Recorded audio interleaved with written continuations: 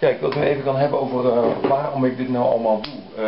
Waar, waarom maak ik deze filmpjes? Uh, er was een van de mensen die op internet vroegen van ja, ik vind het leuk dat je dit allemaal doet, al die, en die moeite erin steekt. Maar waarom doe je het nou allemaal? Um, Oké, dat heeft een reden. Um, ik, ik, heb, ik heb het ook een beetje uitgestippeld op het bord, een beetje weergegeven.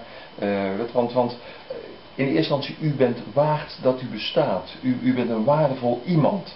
God heeft een doel met u. En um, dat, ik, ik doe dit niet zomaar. Als, als ik nou, uh, het, is niet dat ik dit alleen maar doe om, om mijn kop op, op YouTube te zien of zo. Of, dat, het gaat niet om mij namelijk. Het gaat om u. En het gaat om God. Het gaat allereerst om God en, en, en dan om u. Ja, en uh, ik probeer een, een boodschap over te krijgen. U bent een waardevol iets.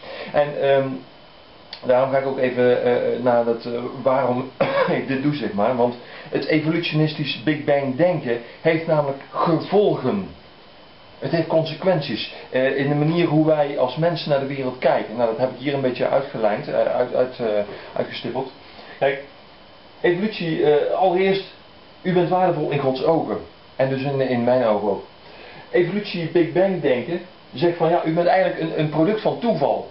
U bent een zak met water met een, een, een kast vol met chemicaliën. Meer bent u niet. Meer bent u in evolutionistisch denken niet. U bent een door, door, door toeval ontstane, uh, uit, de uit de boom gevallen aap. Meer bent u niet. En die, die komt voort uit de vissen. En de vissen komen uiteindelijk voort uit de bacteriën. En dat, is een samengeraapt uh, soortje chemicaliën. Dat toevallig, toevallig is ontstaan een paar miljard jaar geleden. Nou, dat is kolder.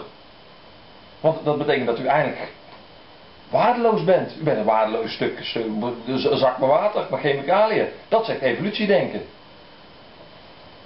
God daarentegen, de Bijbel zegt daarentegen, u bent waardevol. U bent niet alleen een zak water met chemicaliën. U heeft een geest, ziel en lichaam. Wat gebeurt er met die geest en die ziel? Nadat u lichamelijk bent overleden. Ja, die gaat terug naar God. Ja? God zegt, u bent waardevol. Jezus zegt, u bent waardevol. U heeft een doel in uw leven. Dat zegt de Bijbel. Evolutie denken, joh, uh, je bent niet toevallig, maakt niet uit. Ja, wacht. Maar als, als evolutie denken uh, waar zou zijn, dan is er ook geen moraal. Er is geen, geen besef van moraal. Ja, maar uh, toch, toch toevallig. U bent hier toch toevallig. Het recht van de sterkste geldt. Ja, ik ben evolutietechnisch uh, beter en sterker en intelligenter dan u. Dus ik heb het recht om uw kop in te slaan. Point. Geen moraal dus. U bent er toch maar bij toeval, maakt het uit. Plagen van, je, van, van, van kinderen onderling op school. Het, uh, treiteren en bla bla bla. Het, het, oorlog voeren, het moorden. Dat is allemaal legitiem in evolutionistisch denken. Dat deed Hitler dus ook. Om maar een voorbeeld te noemen. En niet alleen Hitler hoor. Er zijn meerdere mensen die de, die de, evolutie denken hebben gebruikt van ja, we zijn hier toch maar bij toeval dus. Ik heb het recht om want in, in, in Hitlers ogen waren de Joden en de negers waren 100% aap. Nou, weet je wat, uh, zei Hitler, we helpen de evolutie maar een eindje. Hup, 6 miljoen Joden de gaskamer in. En, allemaal, alle mensen die hun hielpen. Uiteindelijk heeft het 50 tot 60 miljoen mensen het leven gekost.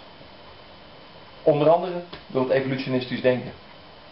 Ubermensch. Ja, Hitler was met dat gebeuren van die Ubermensch. En hij vond die evolutietheorie vond die prachtig.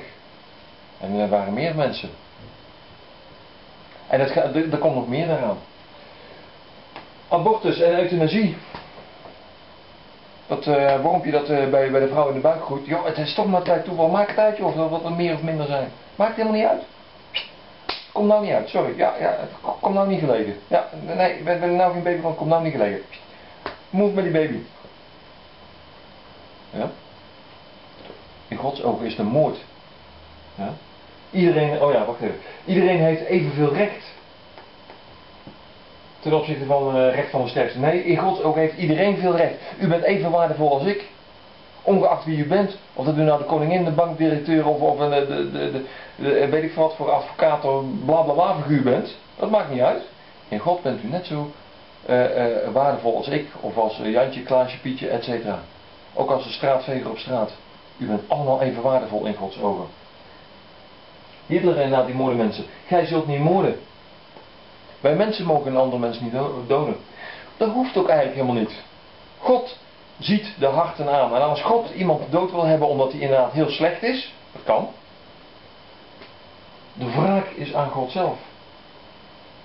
Maar God zal er alles aan doen om die persoon tot zich te, eh, te trekken. Maar hé joh, je bent slecht bezig. Bekeer je, anders heb je een probleem met mij. Zo is God. God probeert zelfs de grootste zondaren tot zich te trekken. Hé, luister nou. Ja? Maar als ze uiteindelijk niet willen luisteren, ja, dan kan God er inderdaad ingrijpen. Heeft hij mij niet voor nodig? Heeft hij u niet voor nodig? Ja? De vraag is aan God. Wij hoeven niet te doden. Wij hoeven niet te moorden. Er is nergens voor nodig. Laat het maar aan God over als dat, nou- als dat echt noodzakelijk is. In het uiterste geval. Oké. Okay. Um, abortus euthanasie is moord dus. Wat ik net al over had. Um, maatschappelijke onrust, wetteloosheid. Kijk maar naar de huidige maatschappij. Joh, ja, och joh, maakt uit. We, de kinderen leren op school van ja, we zijn toch maar bij, bij toeval hier ontstaan en zo. En uh, ja, och, nou maakt het dan uit dat ik, dat ik Jantje, Pietje, uh, Klaasje een draai om zo geef, omdat ik dat leuk vind. Pesterijtjes. Begin al, begin al op, op, die, op die leeftijd. Eh, kleine mannetjes. Treiteren. Ja, je bent stam van de vis af. Nou, dan maakt het toch niet uit wat ik doe. Dan maakt het niet uit als ik, uh, alsof ik, uh, als ik dingen steel of, of jat of, of uh, mensen vermoord of, of andere erge dingen. Dan maakt het er niet uit. Dan maakt het er niet uit of dat ik me vergrijp aan drugs, drank, seks rol, de hele slechte rol. Dat maakt het niet uit. We, we, zijn hier toch maar bij toeval. Ja, och. De Bijbel roept op tot rust.